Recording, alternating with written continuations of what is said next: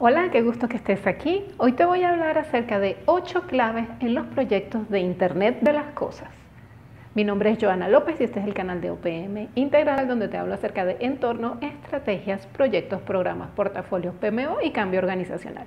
Si aún no te has suscrito, te invito a que lo hagas y le dejas la campanita de notificaciones para que no te pierdas ninguno de mis videos. Comenzamos. Bien, veamos cuáles son las ocho claves que debemos tomar en cuenta en la ejecución de proyectos de Internet de las Cosas. En primer lugar, vamos a hablar acerca de qué es el Internet de las Cosas. Esto es una red que interconecta objetos físicos mediante el Internet a través de la utilización de sistemas o aplicaciones embebidas en estos dispositivos que permiten la conectividad también permite la programación de eventos de forma remota en estos dispositivos. Ahora, ¿qué dispositivos podemos conectar a Internet? Pues podemos conectar casi que cualquier cosa, de las cosas. El enfoque que le voy a dar a, este video y a estas ocho claves para ejecutar proyectos de Internet de las cosas son para proyectos empresariales o proyectos industriales. Entonces, todo se podrá conectar al Internet. En la actualidad, existen alrededor de 27 mil millones de dispositivos conectados a Internet, pero este número va a cambiar en el corto tiempo. Se espera que para el 2030 la proyección sea de 125 mil millones de objetos conectados al Internet y 4 mil millones de personas estarán utilizando Internet en el mundo. Esto significa que se van a ejecutar miles y miles de proyectos de Internet de las Cosas. Entonces veamos cuáles son esas ocho claves para ejecutar proyectos de Internet de las Cosas. La primera clave está relacionada con el alcance del proyecto. Debemos definir cómo va a ser la relación comercial o entre quiénes va a ser la relación comercial durante la ejecución del proyecto y qué localidades van a estar interviniendo en el alcance del proyecto. En primer lugar, debemos ver si la relación comercial es business to business, es decir, de empresa a empresa, o si es business to consumer, de empresa a cliente. En el caso de business to business, se debe evaluar cuál es el tipo de servicio que va a estar incluido durante la implementación del proyecto. Normalmente en los proyectos de Internet de las Cosas se corresponden a la implementación de un servicio en un cliente donde estoy instalando o utilizando unos dispositivos que están conectados a Internet. Entonces se debe determinar si el tipo de servicio es simplemente una venta de dispositivos más una garantía que voy a estar ofreciendo. O si el alcance del proyecto, de la implementación del servicio que yo voy a hacer durante la ejecución del proyecto va más allá. Es decir, si se va a implementar la operación eh, con procesos de mantenimiento, si, si contempla el suministro de partes o insumos, incluso el nivel de, soporte o los procesos de soporte que se van a incluir dentro del alcance de la implementación. Igualmente, hay que ver cómo es la relación con el cliente. A nivel contractual, cómo se va a establecer la relación con el cliente como parte del, proyecto, cómo va a ser el Product Service Delivery o cómo voy a estar yo entregando ese servicio. También se debe tomar en cuenta eh, dentro de la definición del alcance cuántos usuarios van a estar interactuando con estos dispositivos que van a estar conectados a Internet y cómo es la relación que se va a tener con esos usuarios. En el caso de business to consumer, normalmente la relación es simplemente una, una venta más una garantía, aunque pudieran existir otro tipo de, de, proyectos donde la relación del, del de la empresa con el, con el cliente amerite la implementación de otro tipo de servicio. En el tema de las localidades se debe considerar dónde van a estar operando estos servicios que van a estar conectados a, Internet. Cuáles y cuántas localidades van a estar interviniendo en el alcance, van a ser consideradas en el alcance del proyecto y si estas localidades están focalizadas o están distribuidas en varios países o regiones. La clave número dos en proyectos de Internet de las Cosas corresponde a la administración de los dispositivos. Como los dispositivos van a estar conectados a Internet, van a estar proveyendo información y datos acerca de su funcionamiento y la interacción o el comportamiento que tienen los usuarios con estos dispositivos. Entonces aquí pueden haber varias modalidades. En primer lugar, si el fabricante del dispositivo es el que va a estar monitoreando los dispositivos para obtener la información de funcionamiento de sus dispositivos y la interacción con, que tiene el cliente con estos. Entonces, en este caso, la relación eh, del fabricante con el cliente es una relación directa.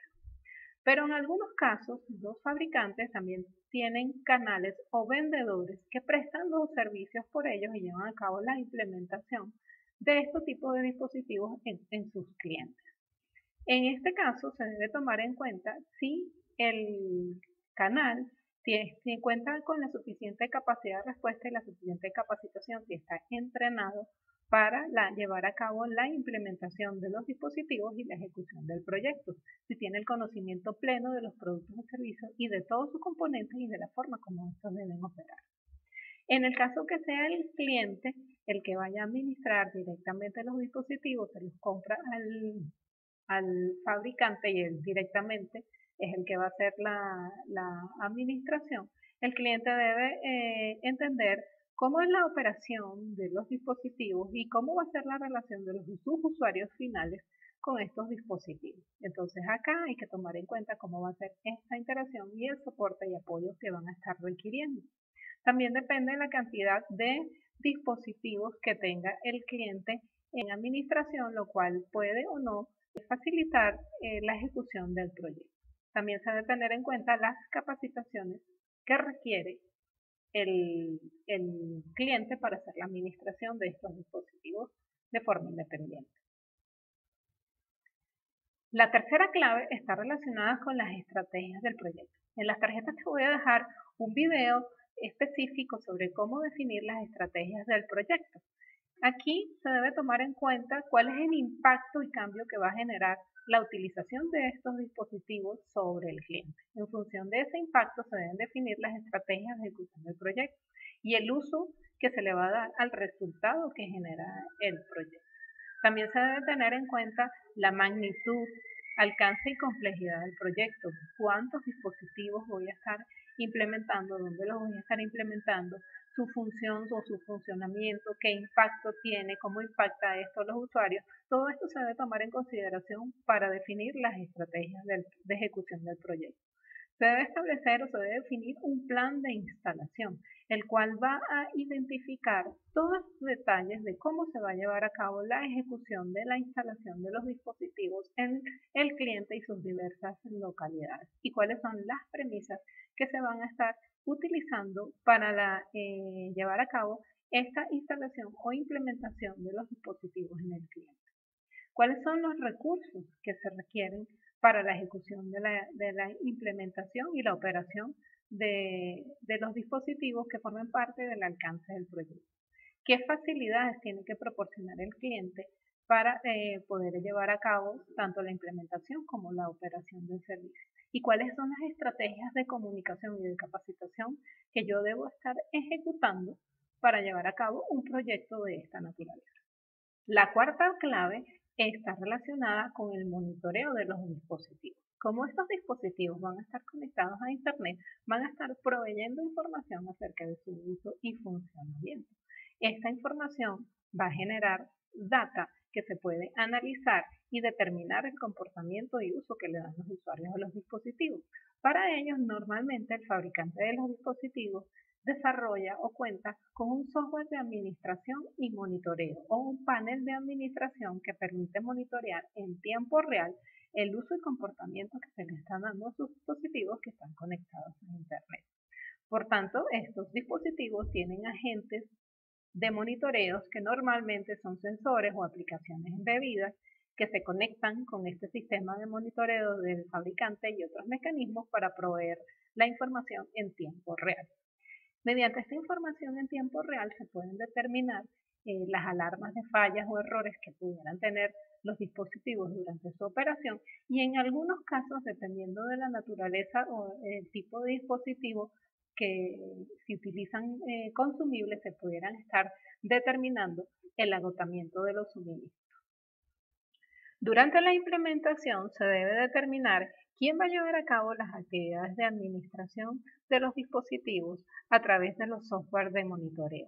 se debe determinar qué personas o qué administradores van a tener acceso para llevar a cabo esta función tan importante, dónde se van a llevar a cabo las instalaciones de estos sistemas de monitoreo, así como sus configuraciones para que luego puedan ser utilizados en la operación y poder obtener la información en tiempo real de los dispositivos. La quinta clave para proyectos de Internet de las Cosas está relacionada con la generación de datos. Entonces debemos considerar durante la ejecución del proyecto qué tipos de datos o qué información necesito de eh, utilizar o manejar como consecuencia de la implementación del sistema y cuáles son los tipos de datos e información que se van a estar utilizando durante la operación. Para ello hay que determinar si se requieren generar dashboards reportes de datos y se debe determinar con qué frecuencia, con qué detalle, quiénes son las personas que van a, recibir esa información y quiénes van a tener acceso a utilizar esa información como parte de las actividades del proyecto. Esto va a permitir hacer el análisis de comportamiento de cómo es la interacción de los usuarios y qué uso le están dando los dispositivos para así poder identificar oportunidades de mejora o nuevos productos o servicios que estén relacionados con estos dispositivos. La sexta clave corresponde a las actualizaciones. La conexión a Internet de estos dispositivos permite que se actualicen con la información que genere el fabricante, por ejemplo, cambios en los sistemas operativos o cambios en las aplicaciones embebidas que deben tener y así se puedan contar con dispositivos totalmente actualizados para las operaciones a las cuales fueron destinados. Es importante tomar en cuenta durante la ejecución del proyecto cómo van a ser los mecanismos de actualización y cuáles son las actividades relacionadas con esta materia que se van a estar ejecutando durante el proyecto y luego en la operación. La séptima clave corresponde al tema que tiene que ver con insumos o piezas. Como se va a poder monitorear el comportamiento de los dispositivos o el uso que se le está dando a los dispositivos, se podrían identificar eh, la activación o se podrían activar las eh, compras automáticas a través de la información que genera el dispositivo. Supongamos que el dispositivo tiene un daño en una pieza aparte o que se le está agotando algún consumible, entonces esto podría identificarse a través del medio del, monitoreo que se hace por el Internet y así realizarse o activarse compras automáticas. Por lo tanto, las ventas de insumos, piezas y partes por parte del fabricante podrían ser planificadas porque yo estoy monitoreando en todo momento cuál es el comportamiento de los dispositivos y los despachos de piezas, partes o insumos también podrían hacerse de forma planificada. Entonces debemos considerar durante la ejecución del proyecto cómo van a ser estos procesos durante la operación. Asimismo, esta información permite al fabricante integrarla con sus sistemas de CRM y sus sistemas de planificación de la producción y así poder estar generando insumos, piezas o partes de forma planificada, pues tenemos integración de la información con sus procesos productivos. Y la octava clave que hay que considerar en los proyectos de Internet de las Cosas es que está relacionado con el soporte. Se debe identificar durante el proyecto cómo va a ser la atención al cliente, cómo se van a estar identificando las incidencias o fallas y cómo van a ser los procesos de resolución de incidencias y fallas, si van a ser de forma remota o cuáles serían los mecanismos a utilizar en el caso que se requiera una asistencia presencial. Igualmente hay que definir cuáles son los niveles de servicio, cuáles son esas, esas condiciones que yo voy a estar requiriendo como cliente para considerarme satisfecho en la atención que me va a estar prestando mi proveedor de servicios. Se deben indicar entonces cuáles son esos niveles de servicios que se van a cumplir como parte de la prestación del servicio. Y asimismo también hay que establecer cuáles son los mecanismos de garantías que deben incluirse para la prestación de este servicio. Si te ha gustado este video, apóyame con un like o déjamelo en un comentario. Me gustaría mucho saber tu opinión acerca de este tipo de videos. Si aún no te has suscrito, te invito a que lo hagas y le des a la campanita de notificaciones para que no te pierdas ninguno de mis videos. Nos vemos en el siguiente video.